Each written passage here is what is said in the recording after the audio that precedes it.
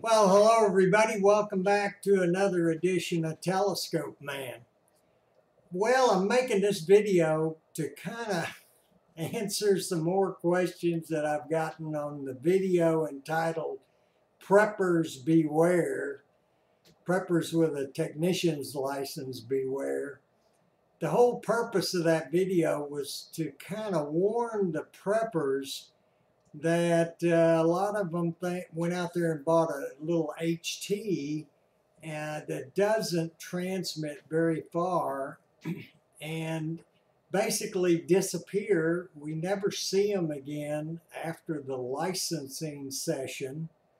Never see them again. Uh, never hear them on the radio. Uh, they come in, they take the test, they pass the test the FCC test, and uh, that's the last we see of them.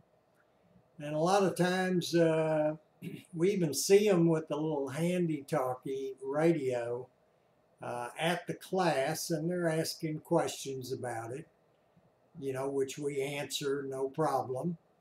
Uh, but from that, they uh, they basically disappear into the woodwork. Now, what I have a feeling is uh, from looking around the internet at some other videos where other preppers are recommending that uh, people get a license and go out there and buy a handy talkie, they're really doing them a disservice because those little radios don't transmit very far. It really depends on terrain and line of sight. Uh, you know, I've had some comments that said, well, you know, I was on the side of a mountain and I was transmitting all over the valley. Well, yeah, that's right. That's line of sight. Most of us don't have mountains in our backyard. And uh, the downside of that is, yeah, you're going to transmit below you uh, probably pretty well, but uh, it's not going to go anywhere else. Uh, it's just going to go line of sight. You're not going to go over the top of the mountain that's behind you. Uh, won't go there. Anyway, uh, suggestion was made during the video to just study a little bit more and uh, take the next step and get yourself a general license. That will open up for you to practice on all the HF bands, which are regional, statewide, uh, USA-wide, worldwide, as far as uh, transmission range goes. this will prepare you a whole lot more for some kind of uh, uh, grid down situation. Uh, and it gives you the opportunity to practice. That's the main thing I was trying to get across is that now you have the opportunity to practice long distance communications and especially to practice some of the digital modes of HF radio which I feel are going to be widely used if there really is a grid down. A lot of the communications will be digital in nature, uh, be something like PSK 31 or uh, uh, RTTY, there's going to be some CW in there. You know, and this gives you the opportunity to practice those digital modes uh, that I just mentioned and learn how to uh, operate those modes. Some of the other comments I got were, well, were, um, where you're going to need to buy a whole lot of equipment. It's going to cost thousands of dollars. You're not going to, uh, you know, and uh, you got to have an amplifier. And no, no, you don't. Some of these digital modes only need 20 or 30 watts of power uh, to transmit virtually anywhere in the USA and to Europe or uh, into the Pacific. So that's really not true. And as far as an antenna is concerned, a simple piece of wire, a dipole antenna that you can make yourself for just a few dollars is really all you need for an antenna. Nobody is going to be using an amplifier during a grid down.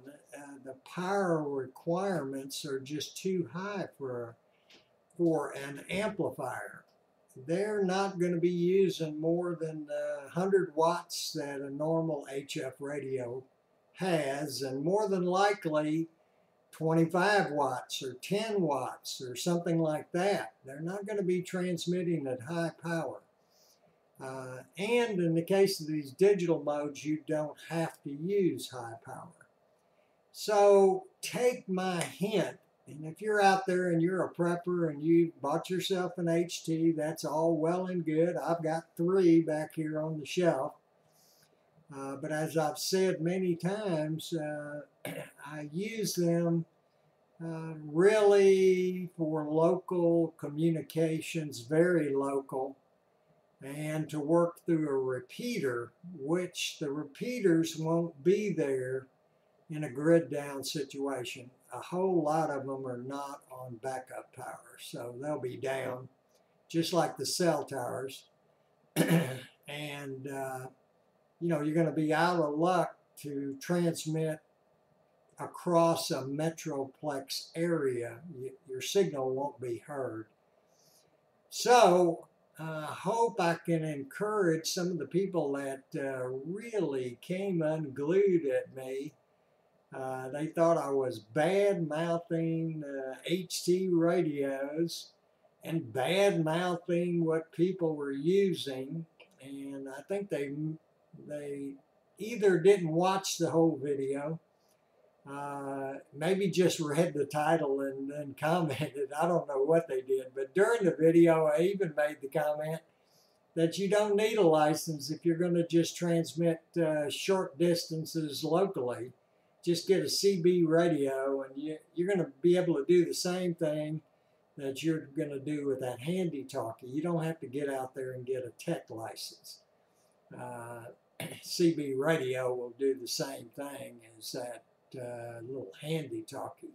But if you want to learn how to communicate region wide, then you need to step out there and get the next level of license, which is a general license don't need an extra license uh, to do what I'm talking about. Just simply a general license will give you the permission to practice uh, on the HF bands. Yes, I know techs have a little section of 10 meters uh, that they can transmit on, but right now during solar minimum, uh, 10 meters is very hit and miss, and uh, you know the signals are not getting out on 10 meters 95% uh, of the time right now. Only uh, every once in a while there'll be an opening, and uh, for a very short period of time, uh, that's totally unpredictable. So we're in solar minimum right now. Will be for about four or five more years before it starts picking up again. Uh, anyway, uh, get out of that 10 meter band, get on 20 and 15 and 80 and 40. And, uh, you're going to be able to communicate uh, region wide uh, without much problems uh, using not a whole lot of power and not spending a lot of money on equipment. It's uh, kind of a misnomer that you've got to go out there and spend thousands of dollars on equipment. Uh, and right now is a great time to buy an HF radio. A lot of uh, new radios coming on the market, and you know, uh, folks want to upgrade, and they've got their uh, five year ago model for sale. There's nothing wrong with the radio, works perfectly. They just want to upgrade. And they're selling those radios right now at a, kind of a fire sale. Uh, for example, I've seen a Icom uh, 718 uh, which is a basic HF radio that you can buy new for about $600. I've seen those as low as $400 right now, and I've even seen a few guys selling them in the $300 range. Uh, so, you know, we're not talking thousands of dollars. We're talking uh, the same price as a cell phone. So, uh, with that said, I hope I added a little more information to my preppers with tech license beware video and uh, not suggesting that you don't have an HT, but am suggesting that you uh, do some practicing on HF, and then you'll really be ready for a grid down to be able to communicate just about wherever you want to communicate to. Uh, that's my advice to you. Anyway, with that said, as I usually do, I wish you clear skies in 73. Hope this helped you a little bit. And keep looking up to see the greatest show on earth right over your head every single night. Everybody be good. Don't beat up on me too bad. See y'all later.